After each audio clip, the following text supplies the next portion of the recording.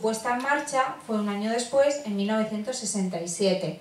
Como os decía, eh, somos la primera empresa eh, de España, la primera, perdón, refinería de España y una de las primeras de, de Europa.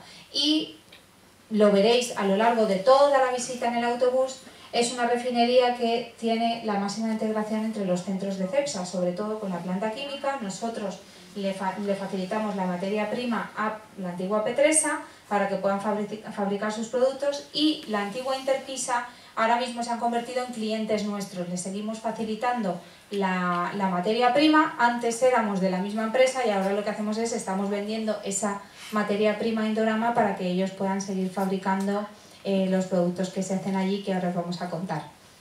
60.000 toneladas aproximadamente al mes de, gasolina para Estados Unidos.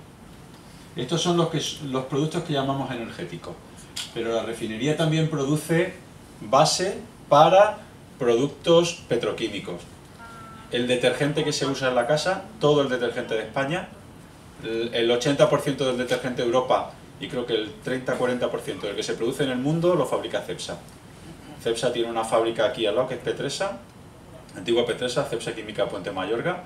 Tenemos también una planta en Canadá y una planta en Brasil también. Vaya. ¿Cómo están los pares? Tienen que mover los autobuses. Pasar para allá. Por aquí, por aquí.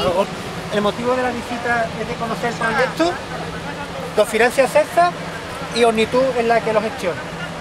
No tenemos tiempo suficiente para explicar todo el panel, pero sí, por el camino vamos andando y vamos comentando la importancia que tienen los ecosistemas de Madre Vieja y también de unos hábitats que hemos recuperado, que se habían perdido aquí en la comarca, que era la laguna de agua dulce, que tenemos la laguna ya con agua y con peces y con especies muy interesantes.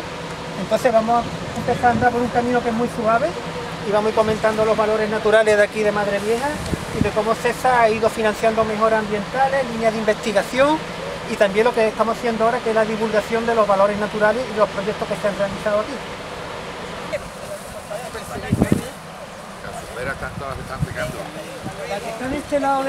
Hay una gran cantidad de aves, hay una gran cantidad de, mamíferos que viven de estas aves, eh, se aprovecha muchísimo lo que es la cebuchina, la pequeña aceituna esta eh, en otoño cuando llegan las aves migradoras desde Europa. La verdad es que eh, a veces no le damos el valor que, que han tenido Hoy terminamos las jornadas de puertas abiertas, han sido cinco sesiones, eh, más de 360 personas de todo el Campo de Gibraltar han podido venir a conocer las instalaciones de la refinería y como vemos también la estación ambiental de Madre Vieja. Eh, hemos realizado un recorrido por la refinería para conocer los procesos productivos, los controles medioambientales y de seguridad que la refinería emplea. Y luego estamos en este paraje natural que puso en valor CEPSA en el año 2009 donde eh, ver la riqueza ornitológica que hay en, en San Roque, en la estación ambiental de Madre Vieja.